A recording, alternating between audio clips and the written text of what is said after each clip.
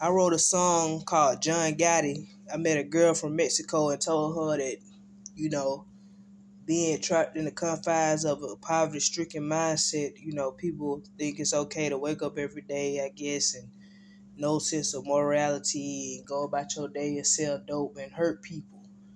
And um, that's the difference between having good character and having bad character.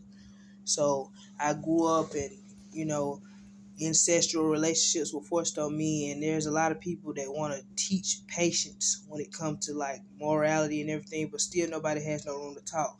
When you're being healed people will feel that positive vibe regardless you know but when you're taught that being a sinner is wrong you always have guilt and you always you know stress over things that were unnecessary. And i got somebody right now you know, that rings in my head. You know, there are really people that really want to set me up for the okie doke. We always want to point the finger, but it's all good. It's a part of life. You know, at least we know how to talk. At least we know how to converse, regardless if it's a problem or not.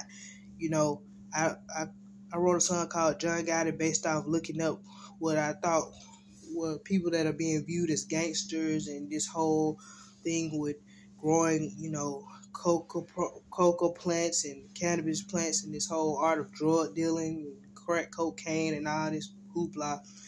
You know, we turned into we created a drug trade, but you know, it's all about what type of uh, connotation you have on your mind. A lot of people are selling dope and they're glorifying something, but there's also a lesson to be learned in everything. You know, when it turns carnal, that's what Christianity teaches you.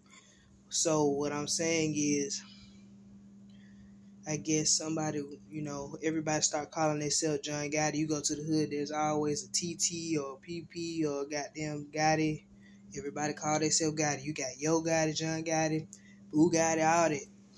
So everybody's calling my cousin Bugatti. That nigga is not John Gotti, and there's people that want to create tension between me and my family members. You can either heal for someone you don't. You cannot change anything. You can't change the fact that you the fact that you grew up around people and they were hypocritical Christians or they really had lessons thrown at them the hard way, like they say life humbling you and all that people be saying, I'm gonna tell people up north that your cousin and you used to fucking you're urine inbred, and you know we need to tell the truth and shame the devil. Let's shame our things that we feel sinful about that makes us feel bad. I'm like, but certain things are not.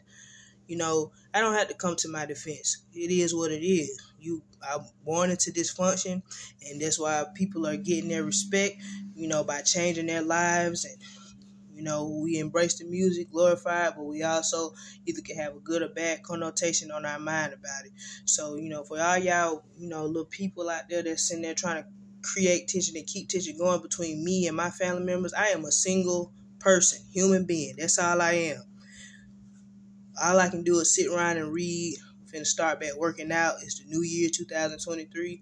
And, you know, for y'all who trying to keep up chaos because y'all want everybody to submit and do whatever you know no, no nobody's life is perfect you know what i'm saying i really do believe that people can live their life in perfect peace but you know we live in a world where supposedly sin came about and there's you know a paradigm that's been taught that something is wrong and something is right and that's where you know things get fishy and things get deep so with all that being said I got hair grease all over my face and stuff but i'm gonna let this hair spread out and I'm finna grow with myself, my hair, and my higher power. So, you know, when you work, put in work, it shows.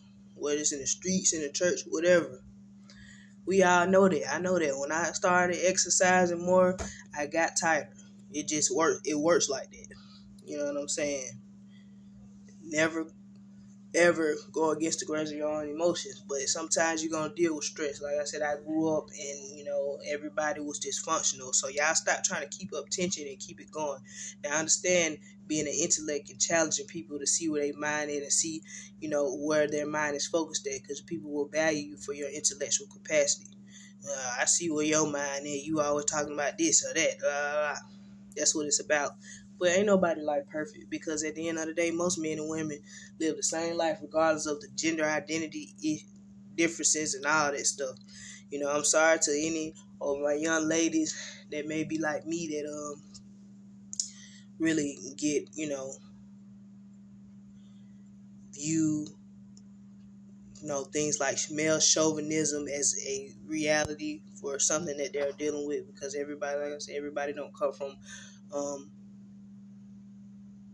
humble beginnings and things that actually mold and you and make you into the person that you are.